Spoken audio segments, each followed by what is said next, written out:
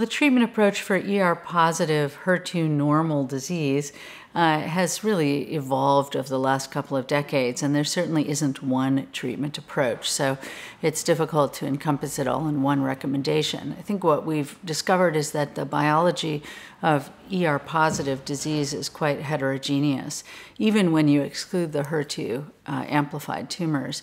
And what we're understanding is that the uh, prognosis is affected both by the biologic characteristics of a tumor, uh, which can include many other factors than ER, as well as the clinical pathologic characteristics, and that by looking at the genomics of these cancers, we can better understand what the right treatment is the treatment approaches for early stage ER positive cancers. So, our treatment modalities, of course, include adjuvant hormone therapy, chemotherapy, and radiation therapy. And it's the combination of those different treatments that we're really trying to improve by uh, adding in different factors that help us understand these cancers. Most recently, we've understood a little bit more about optimal chemotherapy regimens, although we're still learning more, certainly. Uh, and the recent data from ASCO in 2013 told us more about longer duration hormone therapy.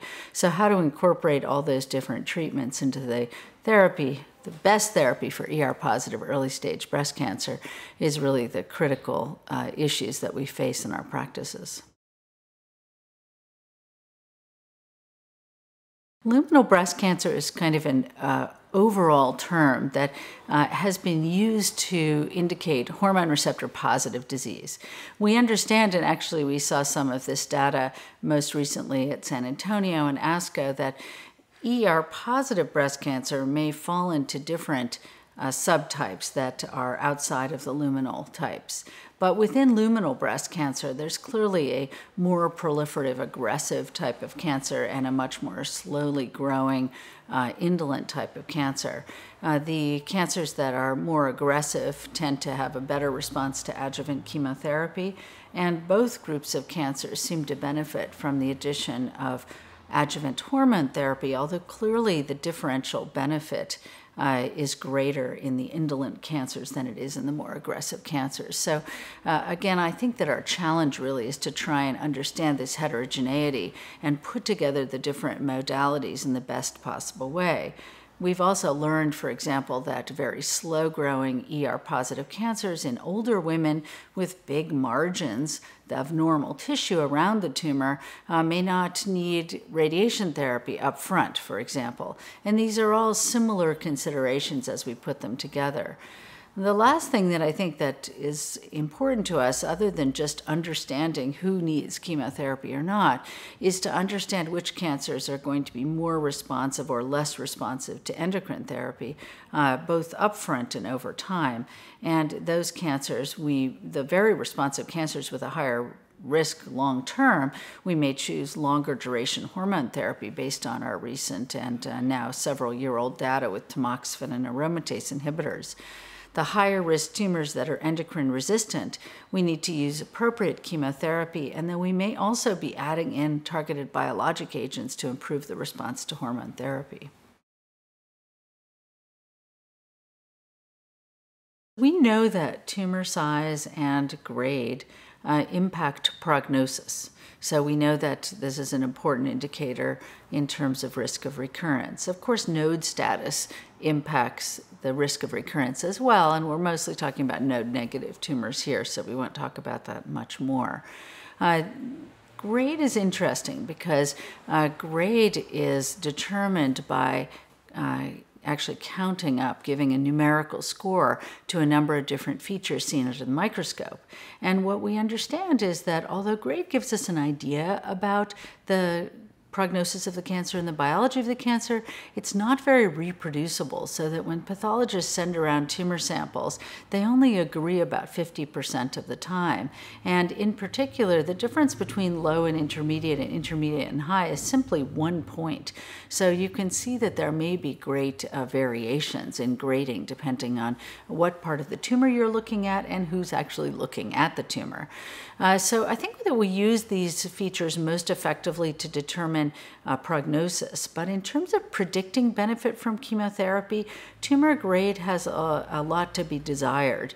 And uh, it is what we've had to use for many decades, uh, but it clearly leaves uh, some problems in terms of not really getting an accurate feeling for what biology the cancer is representing. In terms of size of the tumor, that doesn't really help us. Uh, size tells us more about prognosis than it predicts benefit from treatment. You may have a very slow growing large tumor uh, that has negative nodes and will has a very low chance of responding to chemotherapy, whereas you may have a small tumor that's very aggressive and will respond well to chemotherapy and in fact is relatively hormone resistant. So size really doesn't help us a lot and tumor grade unfortunately is not as reproducible as we would like it to be, similar actually to the proliferation marker Ki67.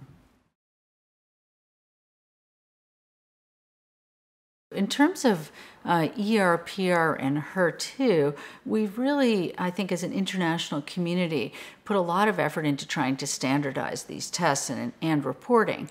Uh, interestingly, we've learned something about the subtypes now, uh, a little bit more about what ER positivity is meaningful in terms of hormone response. And HER2, there actually will be new guidelines that come out very uh, in the near future that will help us a little bit in terms of determining HER2. What we know for sure is that these are important prognostic markers and they in general predict response to therapy.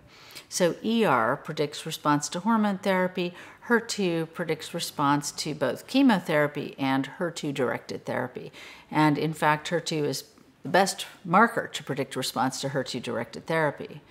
The problems that we have is that there are a lot of gray areas, and how we fit all these markers together with the biology of the cancer is complicated. HER2 is a better standalone test than ER because, as we discussed earlier, uh, ER positive tumors are very heterogeneous, much more so than HER2 positive cancers, and can involve tumors that have relative resistance to hormone therapy, are more aggressive, and are more responsive to chemotherapy, uh, and also include extremely indolent cancers where the risk of recurrence primarily is in 10 years and is mainly affected by longer duration hormone therapy.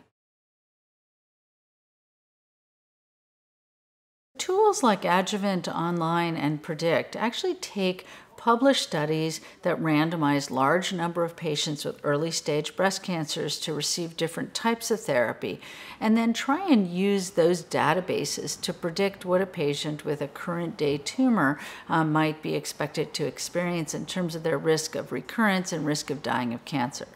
The problem that we have with those tools is they don't individualize for the biology of the cancer. And they use uh, specific factors such as tumor size, node status, and age, as well as comorbidities to try and predict risk of recurrence and benefit from therapy. So the real, it, when we're thinking about those issues with these online predictors, the lack of individuality to the patient tumor becomes a problem uh, as does other features. So most of these tools do not include HER2, which we know markedly uh, increases sensitivity to chemotherapy, and now we use HER2 targeted therapy in almost every patient. So it doesn't really apply to that group of patients. But the problem is that it contaminates the whole database that we're using, and it improves relatively the response to chemotherapy based on what we really see in the tumor population that have HER2 normal disease. So that's one complication. Second complication is that the uh, comorbidity scales are problematic because we can treat patients for comorbidities better now than we could before. So the so called Charlson index may not be a very good predictor of the risk of mortality uh, and intolerance of therapy uh, as much as it was when it was developed some decades ago. And then the third problem uh, really is that the percent benefit from chemotherapy and hormone therapy is static. So it says in this trial of 3,800 patients with very heterogeneous cancers, we saw a 30% relative reduction in risk of recurrence if we used chemo, this type of chemotherapy. But unfortunately, the relative risk, the, the benefit, is hugely variable depending on what biology of cancer you have. If you have a very slow growing cancer, the benefit is small. If you have a very aggressive cancer, the benefit is much higher. And you really can't pull that out from a static, calculated benefit. And then lastly, Adjuvant Online, of course, looks at mortality uh, at 10 years uh, and also looks at risk of recurrence. The risk of recurrence includes local and distant recurrence, and you don't really know what the margins were. And mar- we paid a lot less attention to margin, and we had different imaging studies in the past. So that local recurrence we know was a much higher risk from these older studies. And they, again, contaminate the risk of recurrence. So if you see these big risks of recurrence and a relatively good reduction from chemotherapy, you're motivated to use chemotherapy when in fact the true benefit for that individual cancer is relatively small. So, because of that, we really use those online predictors much less frequently now than we did before.